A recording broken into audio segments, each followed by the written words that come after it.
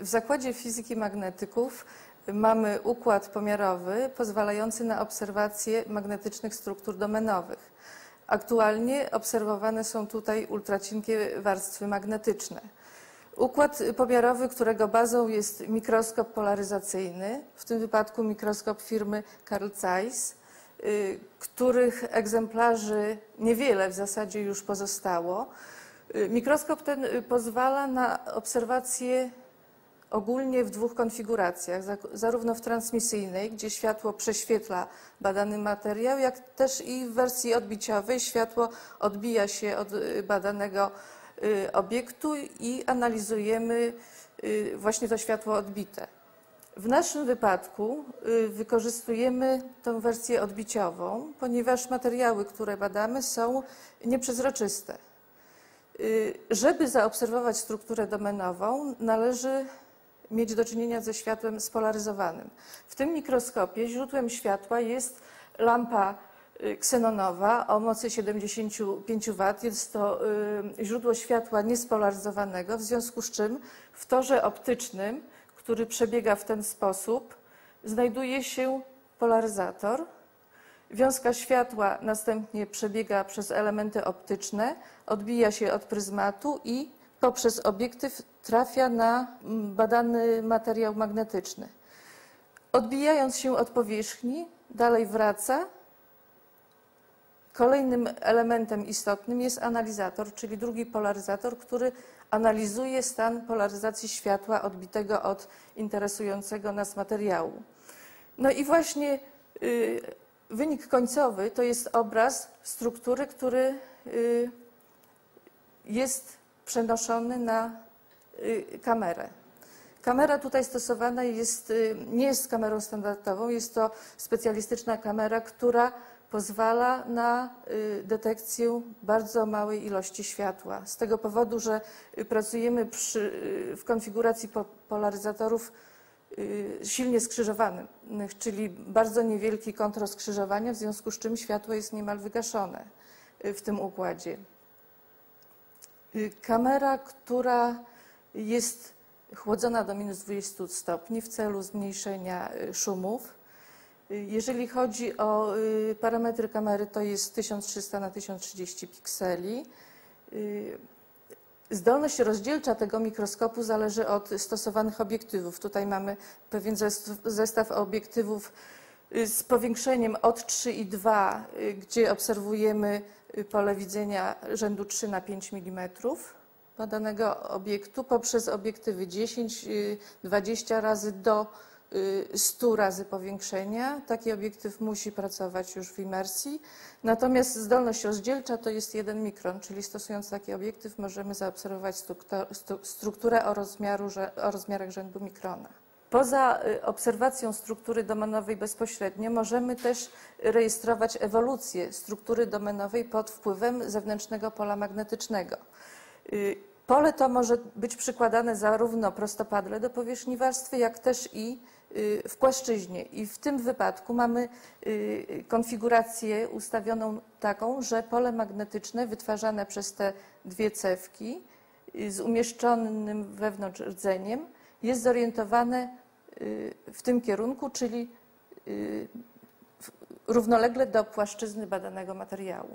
Y, Zewnętrzne pole magnetyczne może być przykładane ręcznie, jak też i sterowane przy pomocy programowania z komputera.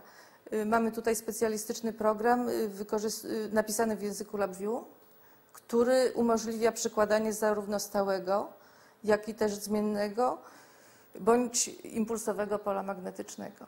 Jako przykład pokazuję tutaj strukturę domenową obserwowaną w ultracienkiej warstwie kobaltu. Warstwa ta y, została wyhodowana metodą epitaksji. Jako podłoże y, jest, stosowany jest szafir. Następnie y, nałożono mamy, mamy 20-nanometrową warstwę molibdenu, po czym zasadniczą magnetyczną strukturę koba, y, warstwę kobaltu, przy czym kobalt nakładany jest w postaci klina o grubości z zakresu od 0 do 3 nanometrów. Całość jest przykrywana y, 10-nanometrową warstwą złota w celu y, ochrony przed y, środowiskiem tego kobaltu. Y, Ilustrowane tutaj struktury domenowe są obserwowane w funkcji y, wzrostu amplitudy pola magnetycznego. W tym wypadku pole magnetyczne jest, było przykładane prostopadle do powierzchni warstwy. Obserwujemy tutaj y, obszar próbki y, około kilku milimetrów. Oczywiście taki obszar nie jest obserwowany za jednym razem w mikroskopie y, musimy zdjąć kilka obrazków, a następnie y, specjalistyczne oprogramowanie wykorzystywane jest w celu sklejenia poszczególnych fragmentów, dających y, cały obszar interesującej nas próbki. Jeżeli chodzi o rozwój struktury domenowej, charakterystyczne jest, że przemagnesowanie kobaltu następuje zarówno od strony cienkiego, jak też i grubego kobaltu. To widać na pierwszym obrazie, gdzie przyłożono polo rzędu 70 ersztedów. Y, przed przyłożeniem pola widzielibyśmy cały czarny obszar. Po y, zadziałaniu pola część y, próbki została przemagnesowana. Im większa amplituda pola, tym większy obszar przemagnesowania. Obserwujemy propagację ściany domenowej, zarówno od strony grubszego kobaltu do cieńszego, jak i też od, cieńszej, od cieńszego kobaltu do grubszego. Przy pewnej wartości, tutaj rzędu 150 ersztedów, oglądalibyśmy cały obszar koloru jasnego, czyli cały ten obszar został przemagnesowany. Momenty magnetyczne z kierunku w dół ustawiłyby się nam w górę. Pozostają nieprzemagnesowane obszary z prawej strony, które odpowiadają składowej y, namagnesowania w, y, orientacji namagnesowania w płaszczyźnie. W tej konfiguracji rejestra, rejestrowanej struktury tej składowej obserwować nie możemy. Charakterystyczną cechą w, tej, y, w obrazach tej struktury jest preferencja kierunku struktury domenowej.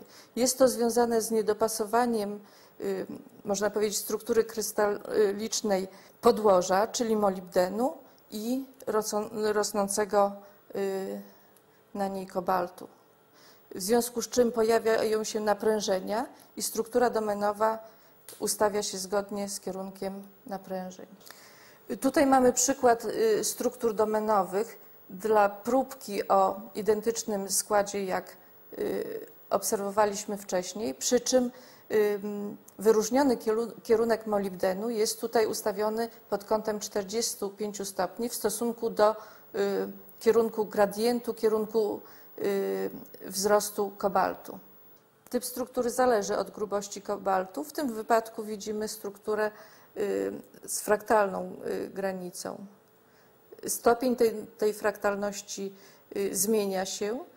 Y, gdybyśmy y, mieli strukturę cieńszą, wtedy ta ściana wygładza się i w końcu obserwujemy prostą ścianę y, rozgraniczającą obszar przemagnesowany i nieprzemagnesowany. Obserwując strukturę domenową na takim klinie, zastępujemy jedną próbką wiele wiele próbek. Gdybyśmy chcieli obserwować, jak się zachowuje struktura domenowa w funkcji grubości kobaltu, musielibyśmy ich wykonać bardzo dużo.